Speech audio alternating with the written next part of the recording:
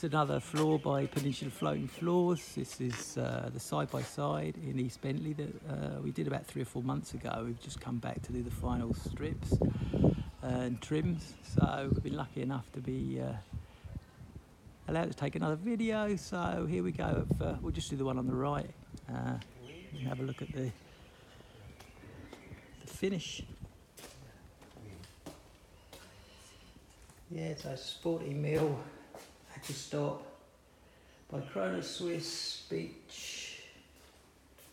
Stuff again flying off the shelves. No more left. It's uh, not even December. There's no more left in uh, Australia till uh, next year now. Uh, yeah, love this stuff.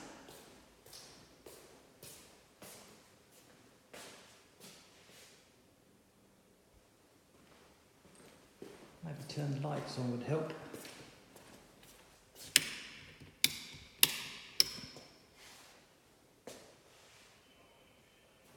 Again, it's another one I did for Fair Unlimited where we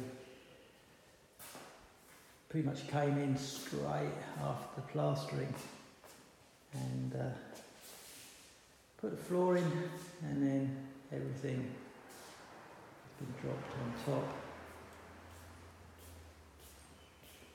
And some people say you can't do that. Well, I say you can. Never had any problems.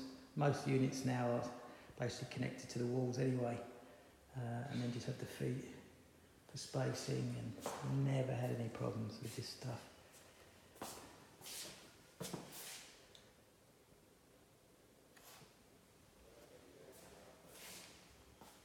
Yeah, just put in some, some trims between tile L's.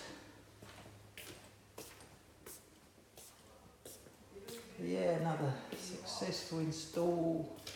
Client's super happy. This stuff's amazing. Been quite a few moons in at the moment as well. But I think Moon and Beach seem to be uh, the two top